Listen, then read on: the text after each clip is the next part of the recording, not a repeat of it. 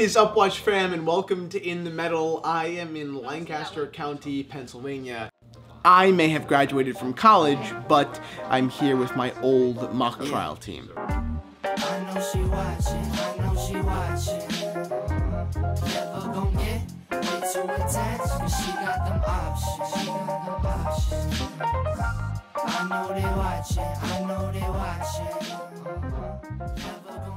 So while they're running their directs and crosses and openings and closings, I've decided to butt my way in and show them some Rolexes and Tudors and some gilt dial chronographs and some terrific vintage watches. These are some of my greatest friends and introducing them to and watching them partake in any interest of my passion means the world to me.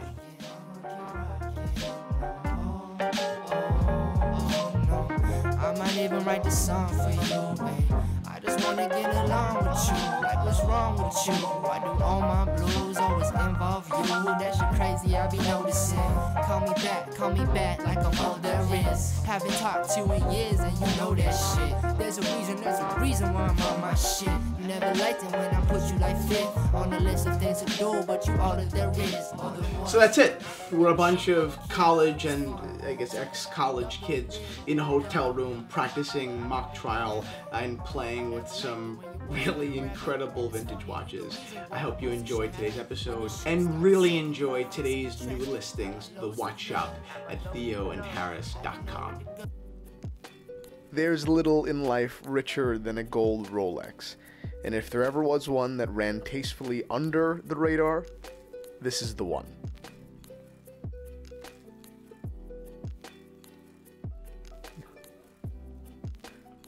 This isn't just any Air King, this thing is special. From reference and dial to bezel, this vintage Rolex Air King is something I find very easy to be passionate about. There is no replacement for a gilt dial.